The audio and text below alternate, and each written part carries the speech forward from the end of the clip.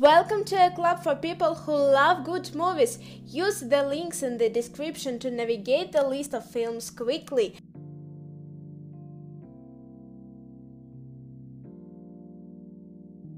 Hugo, orphaned and alone except from uncle, Hugo Cabret lives in the walls of the train station in 1930s Paris. Hugo's job is to oil and maintain the station clocks, but to him his more important task is protect a broken automaton, and notebook left him by his late father. Accompanied by the goddaughter of an embittered toy merchant, Hugo embarks on quest to solve the mystery of the automaton and find a place he can call home. Ratatouille. Remy, a resident of Paris, appreciates good food and has a quite sophisticated palate. He would love to become a chef so he can create and enjoy culinary masterpieces to his heart's delight. The only problem is Remy is a rat.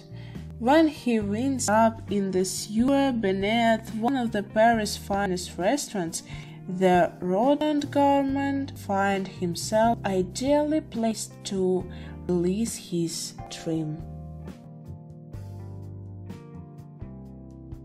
Amelie. In a tiny Parisian cafe, the adorable yet painfully shy Amelie Audrey Tautou accidentally discovers a gift for helping others. Soon, Amelie spending her days as a matchmaker, guardian angel, and all around do-gooder.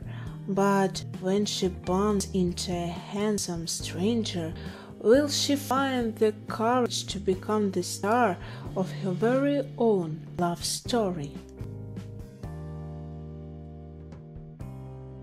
The Dreamers In May 1968, the student riots in Paris only exacerbate the isolation felt by three youths an American exchange student named Matthew and twins Theo and Isabel, having bonded over their mutual love of cinema.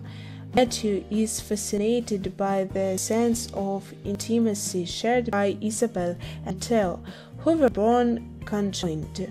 When the twins' bohemian parents go away for a month, they ask Matthew to stay at their place and the three lose themselves in fantasy.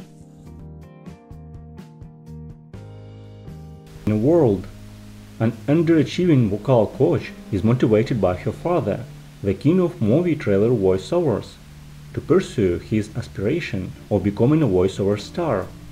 Amidst pride, sexism, and family dysfunction, she sets out to change the voice of a generation.